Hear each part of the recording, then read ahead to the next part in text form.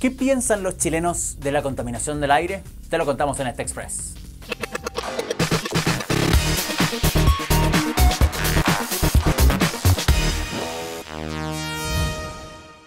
El 77% de los chilenos cree que el aire de su ciudad es sucio o muy sucio. Así lo reveló una reciente encuesta hecha por GFK, Dimark y Samsung.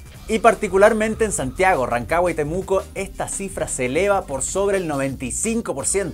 Dentro de todos los tipos de contaminación, el 47,5% de los encuestados cree que la contaminación del aire es una de las más difíciles de solucionar y solo el 22% piensa que puede aportar individualmente para disminuir el problema.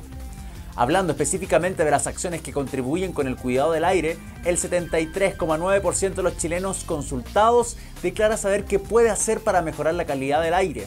Dentro de estas soluciones se encuentra dejar el automóvil o cambiar el sistema de calefacción. Hace algunas semanas nos sorprendíamos con el anuncio de la HyperAdapt 1.0. Las zapatillas que Nike creó inspirándose en el modelo ficticio que presentaron en la película Volver al Futuro.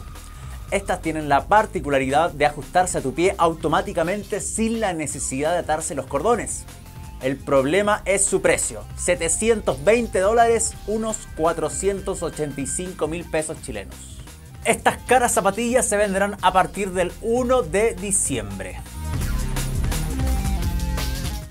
Una de las webs de adultos más utilizadas del mundo fue hackeada, según una publicación de Leaked Source. Nos referimos a adultfriendfinder.com, a quienes le robaron los datos de 339 millones de cuentas, incluyendo otras 69 millones de otros servicios asociados.